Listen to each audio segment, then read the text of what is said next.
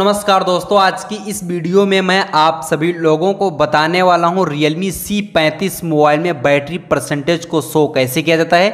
चलिए दोस्तों, मैं आपको बता देता हूँ। इसके लिए आपको करना क्या होगा, आप अपने मोबाइल की दोस्तों सेटिंग को ओपन कर लीजिए।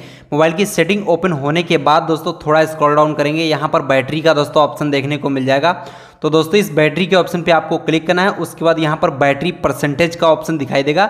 इस टिक को आपको इनेबल कर देना है। अब यहाँ पर दोस्तों देखिए, बैटरी के राइट साइड में दोस्तों बैटरी परसेंटेज शो हो रहा है। तो इस प्रकार से आप इस मोबाइल में बैटरी परसेंटेज को शो करा सकते हो बड़ी ही आसान तरीके से।